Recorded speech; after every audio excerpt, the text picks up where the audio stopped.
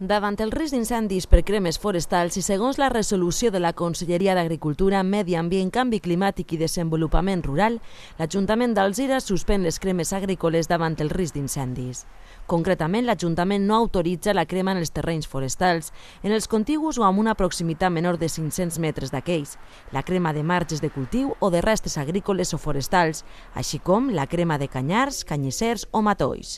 Esta prohibició està en vigor des del passat dissabte 6 de gener i es mantindrà fins que canvien les condicions de risc d'incendis i la Conselleria emeta una nova resolució que disposa el contrari.